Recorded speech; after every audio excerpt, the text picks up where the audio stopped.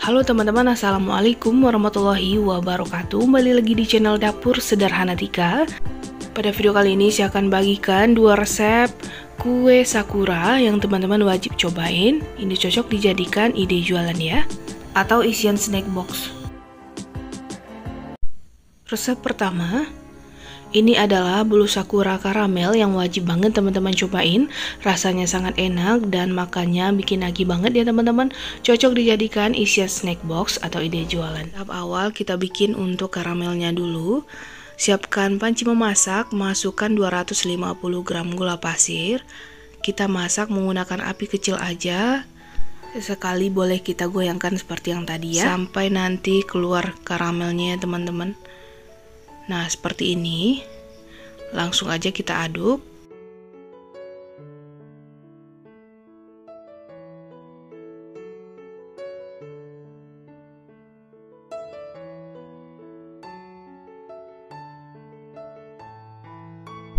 Kalau gulanya udah larut dan berbentuk karamel seperti ini, kita masukkan 500 ml air panas secara bertahap sambil diaduk ya.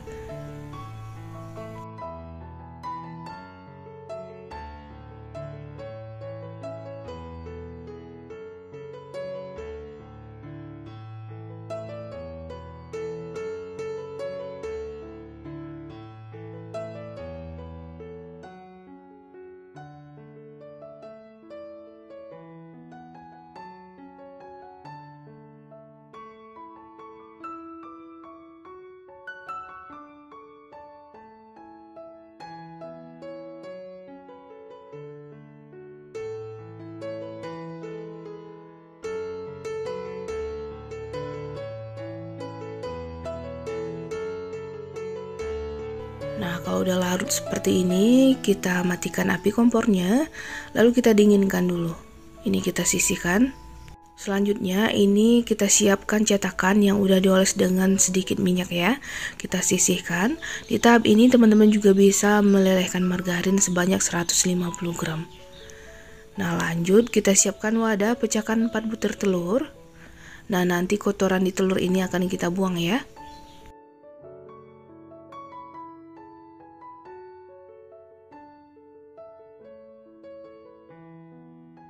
Nah ini telurnya udah bersih. Lalu tambahkan 250 gram gula pasir. Setengah sendok teh vanili bubuk. Lalu ini akan kita mix dengan kecepatan maksimal Sampai nanti berbuih dan agak pucat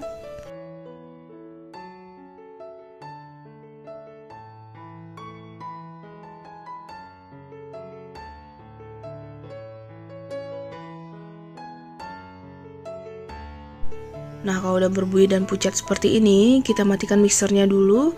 Tambahkan 450 gram tepung terigu protein sedang. Sebaiknya kita ayak dulu ya.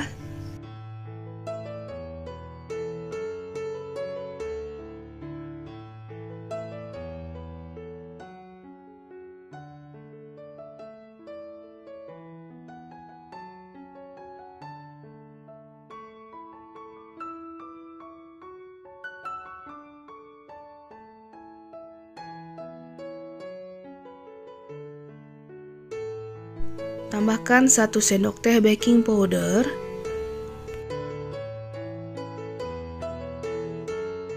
Satu sendok teh soda kue atau baking soda.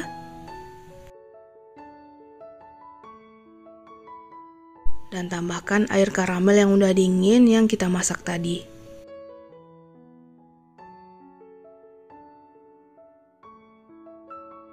Ini kita mix lagi dengan kecepatan rendah sampai bahan tercampur.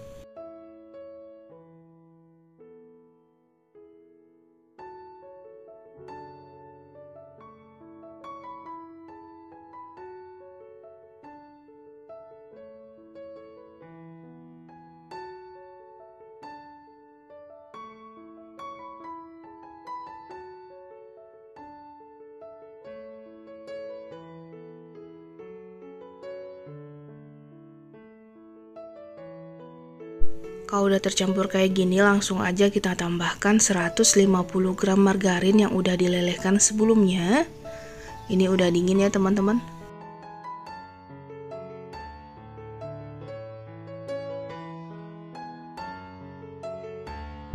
Lalu kita mix dengan kecepatan rendah sampai tercampur.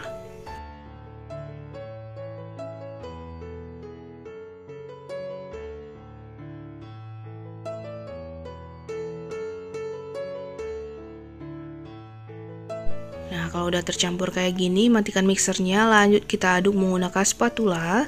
Pastikan adonan benar-benar tercampur rata ya. Dan kita aduk menggunakan teknik aduk balik dari bawah ke atas seperti ini.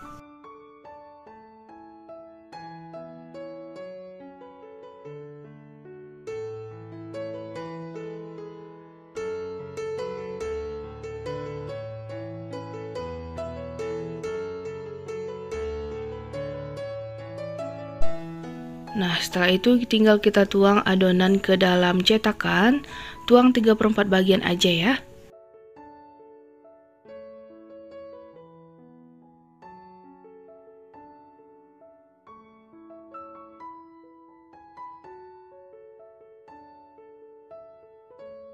Nah, ini udah jadi semuanya. Ada juga yang terisi penuh ya, teman-teman. Nah, sebelum kita kukus, kukusannya ini udah dididihkan terlebih dahulu dan udah beruap banyak. Lalu kita kukus selama 20 menit menggunakan api sedang cenderung kecil dan jangan lupa ditutup sebelah seperti ini ya. Nah, setelah 20 menit ini kuenya udah matang, langsung aja kita keluarkan. Nah, sebelum kita keluarkan dari cetakan ini, kuenya udah dalam keadaan dingin ya, biar gampang saat mengeluarkannya.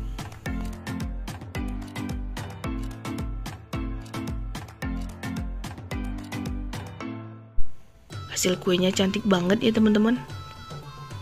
Di satu resep ini saya dapatnya itu 50 buah kue sakura ya teman-teman. Kalau menggunakan cetakan yang agak kecil pastinya lebih dapat banyak ya. Dan diameter cetakan yang saya gunakan 6 cm ya. Nah ini dia bulu sakuranya udah jadi, hasilnya cantik-cantik banget ya teman-teman. Nah langsung aja kita kemas menggunakan box mika seperti ini. Rapi dan bagus ya. Nah, kalau teman-teman maunya hasilnya lebih rapi lagi, boleh juga ditambahkan kertas cup kayak gini di bagian bawahnya. Untuk ukurannya saya pakai 7 cm. Nah, cantik banget. Nah, untuk harga jual teman-teman bisa perkirakan sendiri ya berapa modal yang teman-teman pakai. Karena di tiap daerah itu kan harga bahan berbeda-beda ya teman-teman. Jadi sesuaikan aja keinginan teman-teman mau dikasih harga berapa. Yuk langsung aja kita lihat gimana hasil dari bulu sakura ini. Nah ini empuk dan menul-menul banget ya teman-teman. Langsung kita potong. Nah bagian dalamnya seperti ini, lembut juga. Nah ini akan saya cobain Bismillahirrahmanirrahim. Ini beneran enak banget, jadi selamat mencoba ya. Resep kedua, ini adalah bulu sakura pandan, rasanya sangat enak dan tampilannya juga menarik, cocok dijadikan ide jualan atau isian snack box ya. Ini dia cara buatnya. Langkah pertama, siapkan panci memasak, masukkan 300 ml santan dengan kekentalan sedang. Setelah itu tambahkan sedikit pasta pandan. Kalau teman-teman mau rasanya lebih enak, boleh juga dimasukin jus pandan ya 100 ml. Jadi santannya cukup 200 ml dan ditambah jus pandan 100 ml. Jadi totalnya 300 ml. Lalu ini akan kita masak sampai mendidih menggunakan api sedang cenderung kecil sambil terus kita aduk ya biar santannya nggak pecah. Nah setelah itu kita akan dinginkan dulu sebelum kita gunakan. Nah setelah memanaskan santan teman-teman juga bisa memanaskan margarin atau dilelehkan 75 gram ya. Lanjut kita pecahkan dua butir telur di dalam wadah yang agak besar. Tambahkan 125 gram gula pasir, seperempat sendok teh vanili bubuk. Lanjut kita mix dengan kecepatan maksimal kurang lebih 5-7 menit. Sesuaikan aja dengan mixer teman masing-masing ya.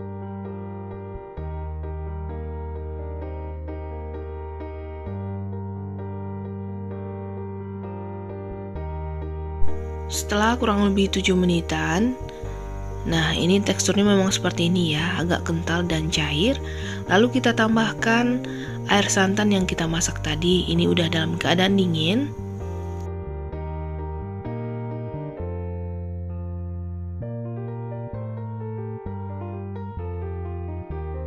Lalu kita mix sebentar. dengan kecepatan rendah aja ya.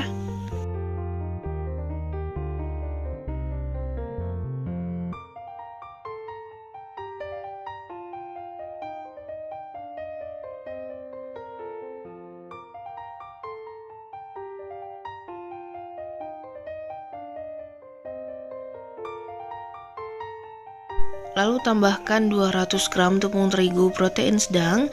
Di sini saya masukin bertahap dan sebaiknya kita ayak dulu.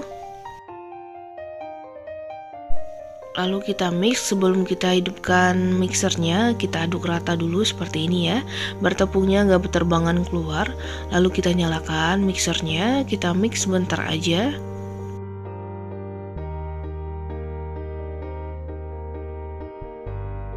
Lalu kita masukin sisa tepungnya.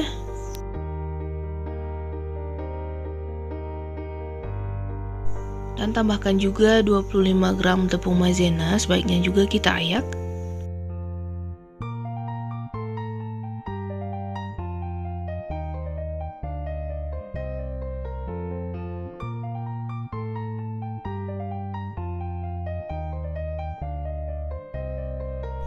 Lalu tambahkan setengah sendok teh baking powder.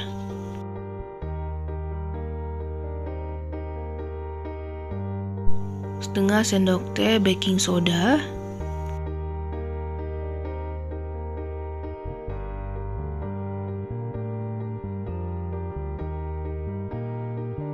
Lalu kita campur rata dulu sebelum kita nyalakan mixernya.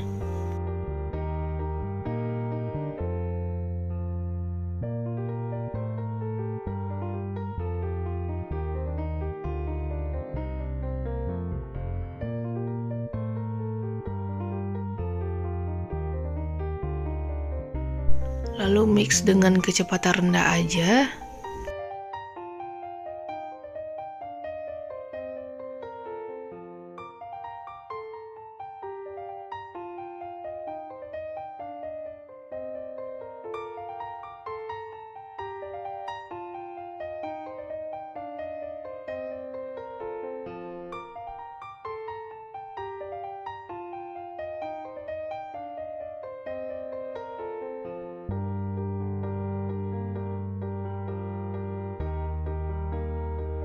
Nah ini udah cukup, kita matikan mixernya. Lalu masukkan margarin yang udah kita lelehkan sebelumnya sebanyak 75 gram.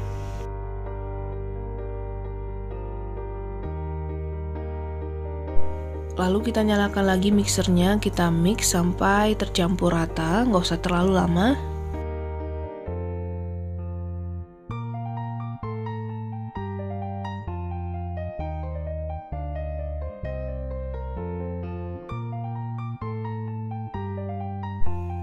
Lanjut kita aduk menggunakan spatula, pastikan adonan benar-benar tercampur rata.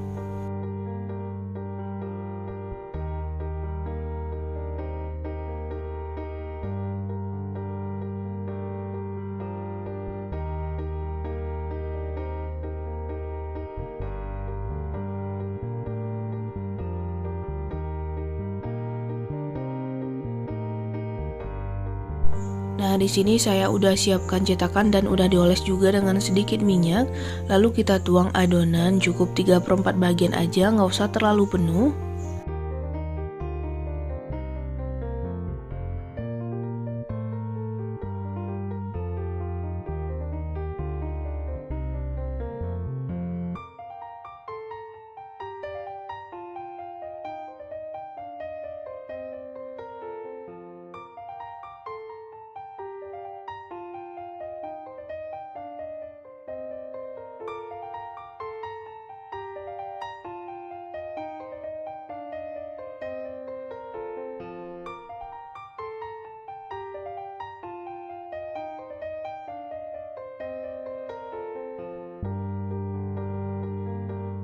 Lalu kita hentakan sebentar seperti ini ya.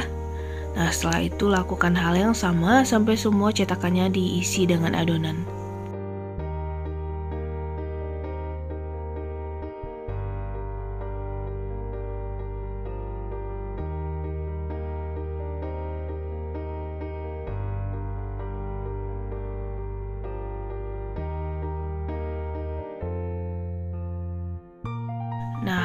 Jadi seperti ini, kita kukus selama 15-20 menit menggunakan api sedang cenderung kecil dan jangan lupa kukusannya udah dipanaskan terlebih dahulu dan airnya udah mendidih dan kita tutup menggunakan serbet seperti ini ya.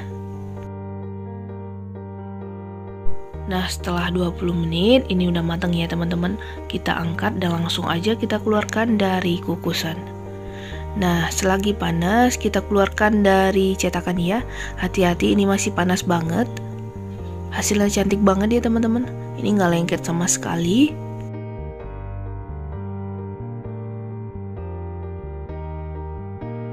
Nah ini dia bolu sakura pandan kita udah jadi. Hasilnya cantik banget ya teman-teman. Warnanya juga bagus. Ini wangi banget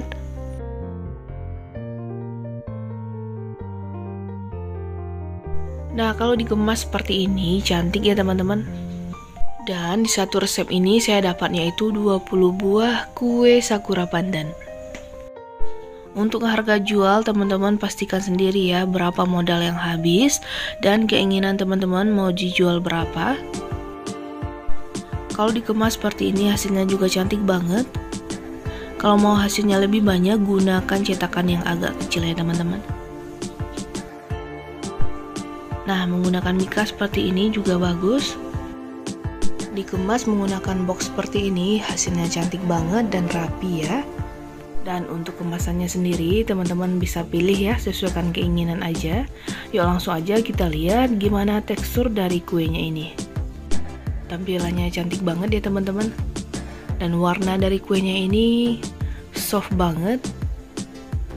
Juga menul, empuk, dan teksturnya sangat halus. Kue ini beneran enak ya teman-teman. Dan cocok juga dijadikan ide jualan dan Asian Snack Box. Nah, teman-teman bisa lihat ya. Oke, teman-teman, selamat mencoba dan sampai jumpa lagi di video selanjutnya. Assalamualaikum warahmatullahi wabarakatuh.